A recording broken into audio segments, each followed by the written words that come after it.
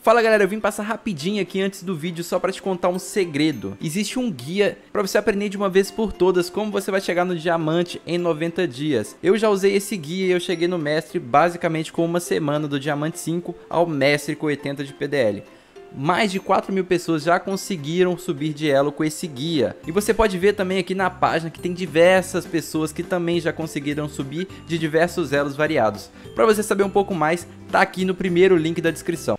Fala galera do YouTube, como é que vocês estão? Tô começando mais um vídeo aqui pra vocês e mais um vídeo dessa saga aí até o mestre. Eu vou jogando essas partidas e eu vou dando mais dica pra vocês a cada partida que eu vejo alguma coisa interessante de trazer pra vocês. E nessa eu queria trazer alguns erros que eu vejo que o pessoal comete e algumas coisas que você pode estar tá fazendo tanto na mid lane, tanto na top lane, tanto quando ADC.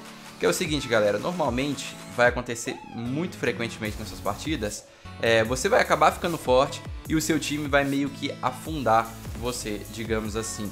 E tem alguns erros que o pessoal comete que acaba fazendo com que ele não consiga carregar a partida e eu vou estar tá tentando explicar melhor aqui nesse, nesse vídeo. Beleza? Então, comecinho de jogo eu já queria falar que a maioria dos jogadores desse elo aqui que eu tô, que eu tô no Gold 1 nesse exato momento, mas eu já tô puxando Platina 1, então já tô quase pegando o pessoal do Diamante. Eu tô a 27 vitórias e, um, e duas derrotas ou três derrotas, não sei. Mas eu tô com a taxa mais ou menos de 90% de win rate, é uma taxa absurdamente alta e eu espero manter isso aí por o máximo possível, porque como o MMR tá alto, eu consigo subir mais elos quando eu ganho essas MD3, essas coisas. Então eu tô subindo de 2 em 2, então tá sendo muito bom pra mim e pro pessoal que cai contra mim, porque fica mais balanceado. Então eu já tô vendo bastante gente que conhece o canal, que tá mandando salve lá nas partidas, então salve todo mundo aí, tamo junto, mano. Então vamos lá. Galera, o primeiro erro aqui é o pessoal não dar valor pra lane phase, mano. O que, que a lane phase, velho? Essa fase de rota que vocês estão vendo. O que, que é importante nela? Trocas. Muita gente evita fazer trocas ou não sabe trocar. E quanto mais você trocar, galera, mais fácil vai ficar de você matar o laner, porque você vai aprendendo seu campeão, você vai aprendendo o dano que você dá e você tem que é, ter uma boa lane, né? A gente fala, você pode dar uma laneada ali, tô zoando. Mas você ter uma boa lane phase é essencial se você quer carregar qualquer tipo de jogo ou se você quer ter um impacto especial na partida. Eu, por exemplo, estou numa matchup aí que eu não gosto tanto, que é enfrentar GP, mas no caso aí o GP ele era bem, bem suavinho. Então eu consegui dar esse dive no começo, eu peguei uma eliminação muito boa e olha a onda de minion que ele perdeu. Ele perdeu duas waves giga aqui, por mais que ele vai dar TP. É... Outra coisa, galera, vocês podem ver que eu tô de Jax, então eu sempre pego um campeão que eu tô confortável com ele. No momento eu tô jogando de Fiora, Jax, Irelia, Kong e Darius. São cinco campeões, eu não tô revezando todos. O que que acontece? Eu pego um campeão, eu jogo com ele, eu ganho, pego de novo, dependendo da composição. Por quê? Às vezes eu pego uma matchup que eu já estompei o cara e foi bem fácil, eu tento repetir ela porque eu sei que eu vou ter uma vantagemzinha em cima do cara. Beleza? Então é umas pequenas coisas que você pode ter noção em que vai facilitar muito.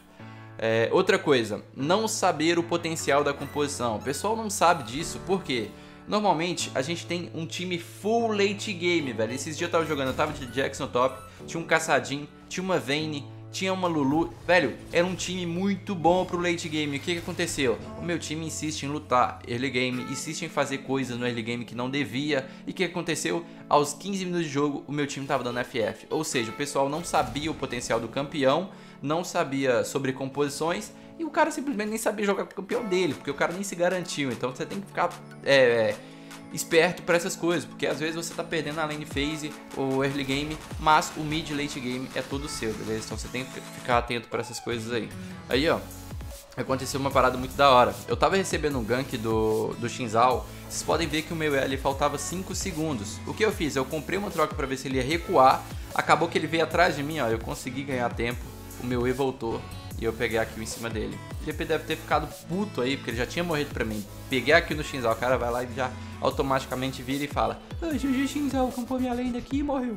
Mas, tirando isso, galera, essa aqui também é uma partida especial, porque eu era o único cara, o único não, vai, o Fido também ficou forte, mas acabou que depois ele some facilmente, né, se o Kong, o Kong do outro time focar ele, chegar invisível é muito difícil o Fido ter essa reação. Então, no caso, eu tava muito forte, e já puxando o gancho aqui para outro erro comum que é não saber lutar. O pessoal do low elo não sabe lutar. é, até o pessoal do Diamante, velho. Eu já vi muito Diamante 3 que o cara não sabe lutar. Tá muito forte, mas não sabe quem que foca, também é outro erro. Não sabe como é que foca, não sabe splitar. Por exemplo, o pessoal acha que só top lane que splita. Não, mid lane muitas das vezes também vai splitar. Um Zed splita, um Echo splita. Vai depender se você mata o seu campeão inimigo. Então você vai abrir essa pressão e você pode splitar porque vai descer um, dois, três caras para poder te parar. Beleza? Então eu já vou passar aqui por uns momentos onde eu tava bastante forte, mas o meu time não. Você pode ver aqui embaixo, ó, na barrinha, ó, que os caras bagaçaram com a gente. Basicamente isso.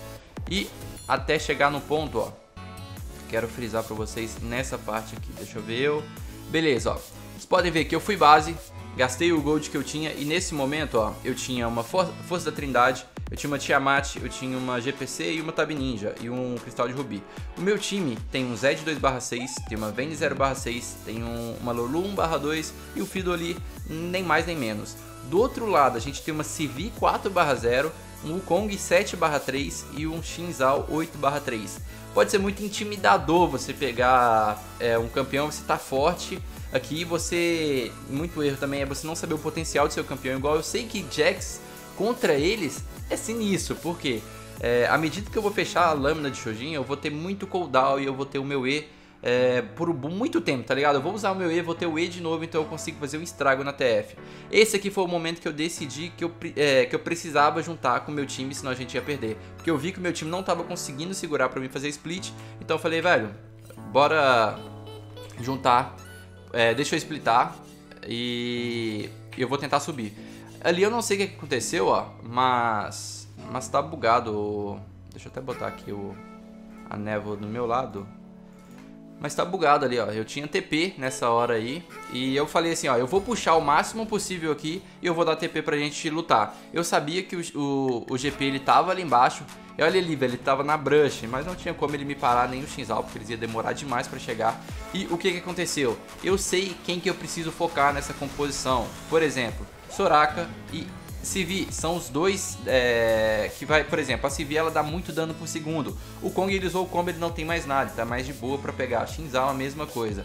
Tanto é que o meu time conseguiu matar o o, o, o, Kong, eu matei a Soraka, a CV e aí agora matei o Shinzal. Ou seja, a gente matou três, mais o Kong a gente matou quatro pessoas. E ainda o, o GP ainda não sei se ele manja muito, mas ele ainda tentou passar ali na frente da gente. Eu fui atrás dele e matei quatro pessoas sozinho. É isso que eu quero que vocês entendam. Vocês precisam saber lutar, precisa saber quem você vai focar e precisa saber do seu potencial do campeão, porque é isso que vai fazer você ganhar os jogos. Tipo assim, a maioria dos jogos que você acha que tá perdido tem solução, dá para você ganhar. Igual tem gente, ah, você joga aí no diamante, quero ver você jogar no bronze aqui, que todo mundo já afunda. Galera, já ganhei partidas dessas 26 que cara caiu, já joguei com um cara com, é, que caiu e ganhei. Isso foi no gold, velho. Então, é, não tem tanta diferença assim, você acha, ah, mas você tá no grão. Não tem tanta diferença. Tem cara que é grão mestre que tem noção de bronze, tem noção de, de gold. Então não fica essas paranoia na cabeça, beleza? Então vamos para mais uma parte aqui, ó, que eu quero mostrar pra vocês.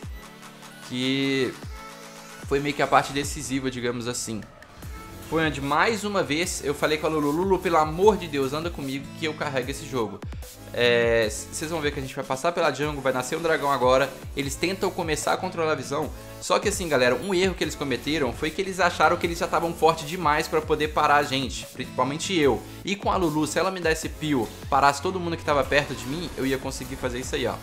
Já dei flash pra cima da Civi só pra beitar o shield dela e fui na Soraka, porque a Soraka que ia deixar ela viva. Depois que eu matei a Soraka, eu matei muito fácil a Civi também, não tinha como ela fugir de mim. E como eu já tinha lança de Joshin também, assim, que ele é maravilhoso, velho. Eu tenho muito cooldown, então eu consigo bagaçar com todo mundo.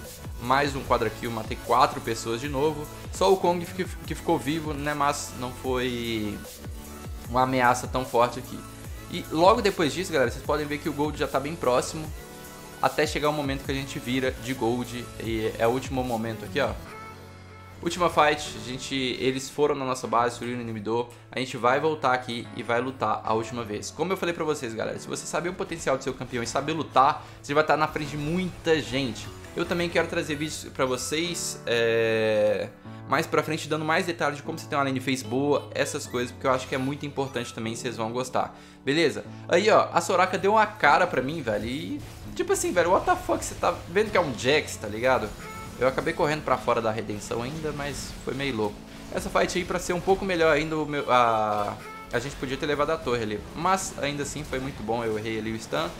Consegui pegar aqui o CV. Nisso aí eu já tinha acabado com a fight, porque eu matei os principais, que era o Kong, CV, Soraka. Aí o meu time conseguiu fazer a boa também. E como a gente tinha é, Fiddle e Lulu pra parar o engage de um Kong, de um Shinzal, era muito de boa. E é isso, galera. Eu espero que vocês é, fiquem com essas dicas que é muito importante. Eu já vi cara aqui no canal que já tá diamante 2 com as dicas que eu dou. Então, parabéns aí esse cara que tá diamante 2 e todo mundo que usa as dicas e consegue subir de elo. Deixa um like aqui no vídeo se você gostou. Se inscreve no canal também, velho. A gente tá quase chegando a 100k de inscritos. Só falta mais 50. Mas a gente vai chegando aos pouquinhos. Me segue também lá no Instagram pra gente bater mil inscritos lá. A gente falta quase também. Falta só 400. Se todo mundo que assistir esse vídeo aqui for lá e seguir no Instagram, a gente bate essa meta. Beleza? Muito obrigado por assistir mais um vídeo. Valeu e falou!